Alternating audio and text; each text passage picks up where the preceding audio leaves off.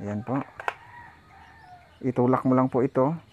Hmm. Tapos kung kukunin mo ng battery, press mo lang dito.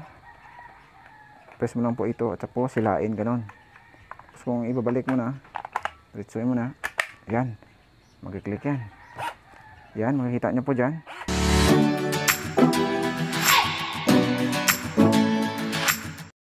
Magandang araw mga ka-power tools dyan. Ngayon po, araw na to, may bago naman tayong power tools na i-unboxing. Dito po siya. Siya po ay Black Indicator na cordless. Ano pang inantay natin? Tara na, buksan na natin.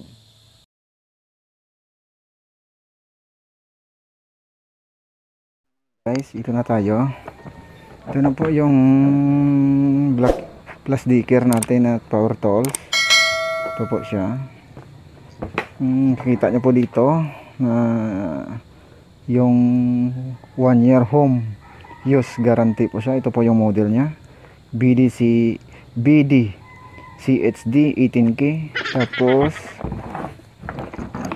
tapos kabila yung mga ginagamit concrete yung mga gear turning niya tapos yung high speed dr- drill niya at saka rotary wood steel and uh, screw driving test.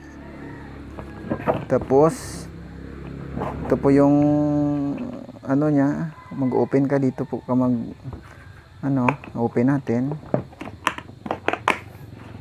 Bago natin i-open pala kalimutan natin kunin itong ano sticker niya mga guys. Nakita niyo po dyan. Ito po kunin muna natin to. Ito po yung ito po kasi yung ano niya sticker na parang warranty. Kunin na natin. Tapos dito na po tayo. Buksan na po. Buksan na po natin. Yan na po ito na po yung ano niya sa loob. Ito yung battery po niya na lithium battery 1.5 ampere 18 volt. Hmm. Ayan po. Tapos itong charger po niya na tingnan po natin yung output o ilang voltahe po ito. Siya po ay ah input po niya 100 to, to, to 40 volt AC 50 to 60 Hz 300 milliampere. Tapos output po niya ay 8 to 20 volt 400 milliampere.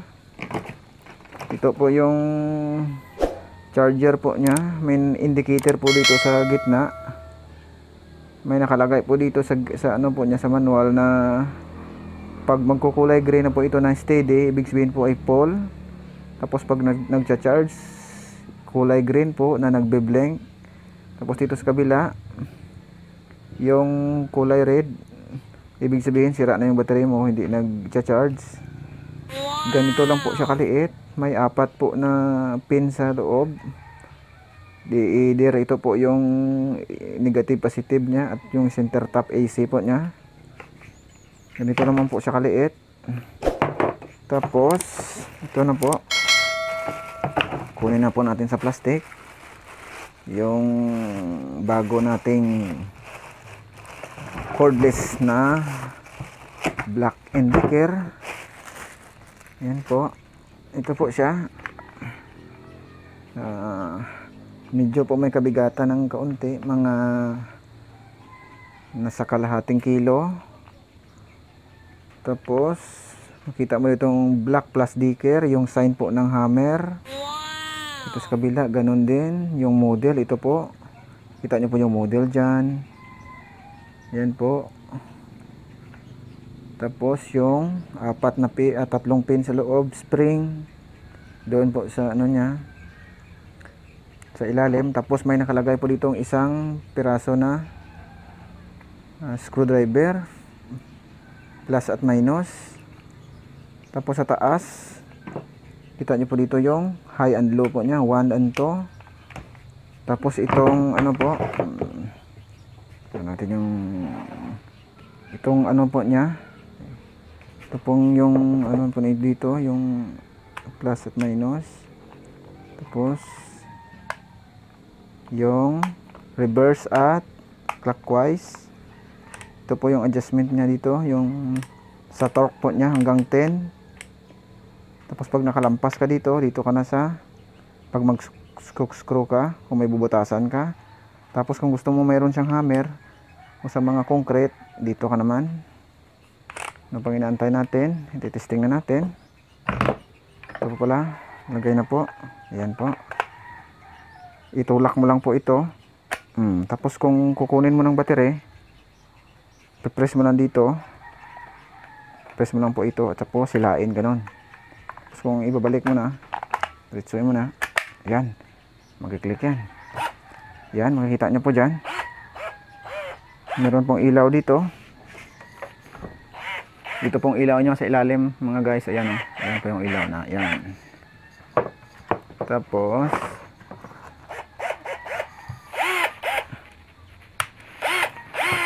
Yung one, yung number 2 niya pala. Ito po ay, kabila. Ito po ay high, low. Yan po. Tapos, ito po yung manual. Magbasa ka na lang ng manual kung gusto mong uh, ano yung mga ano niya. Tapos, ito pala yung pre niya. Mayroon po siyang drill na pang metal po. Ito po. Ito pong pang metal na drill. Tapos meron ding pang concrete, dalawa. Ah, tatlo din pala, tatlo. Ito. Tapos mayroon po siyang 1, 2, 3, 4, 5, 6 7 na piraso na plus minus na screwdriver. Ito po yung dugtong niya. Ito po, pasok mo na dito. Oh. Tapos dito. Yan po. Unahin po natin itong ano. Unahin po natin. Try-try na po natin siya. Yan po. Ito po siya.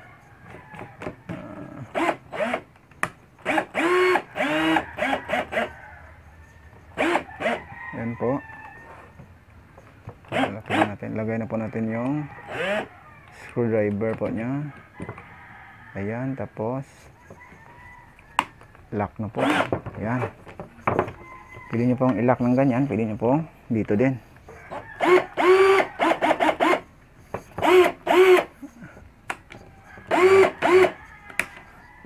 One lang po tayo. Tapos testing na natin meron tayo ditong ano mga guys meron pa tayo ditong ano plywood na 1 half.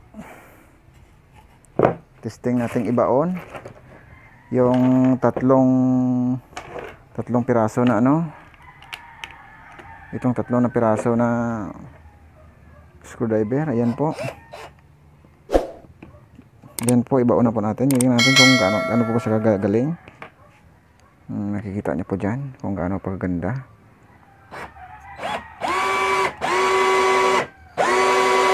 Wow, ganyan na po kabilis. Tapos, pag pinababa, bilis lang. Ibaon natin yung tatlo.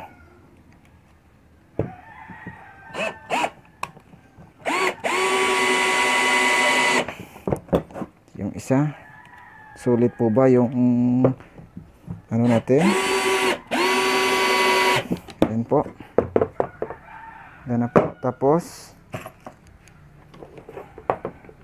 ano na po natin to? Uh, kukunin na po natin. Ganyan lang kabilis. Kuha na. Try natin din yung itong ano niya drill na pangbutas.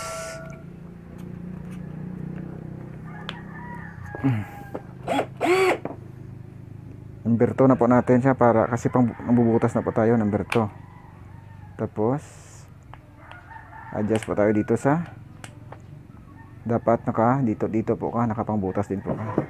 Tapos try na natin siya. Bilis lang yan lang po ang bilis lang po bilis lang po.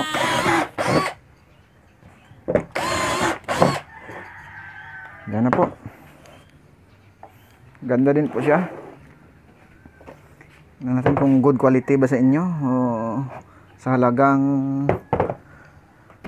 6,900 kita nyo naman yung performance mga guys. Tapos pala ititesting din natin yung charger po niya. Kunin po natin. Charger. Charger testing? Hmm. That test- testing charger